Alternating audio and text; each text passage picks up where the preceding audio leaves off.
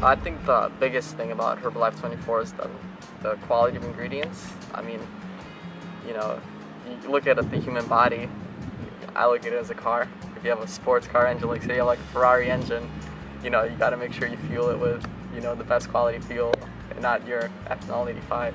So the highest quality ingredients are what drives you you know, the better products you put in, the better results you get. You know, it's as simple as that. I, really like the protein bars, which are not on the 24 line, but you know, they're, they're the perfect snack to have after a workout and even before a workout. I mean, it's just the perfect ratio of protein to carbs for me, I think, and they're also delicious. But uh, I really enjoy Prepare. You know, it gets me not only physically ready, but mentally for the competition and for the workout ahead. And for I use it for the, the most intense training sessions and for my before my competitions. And it gets me, you know, psyched and all ready to go.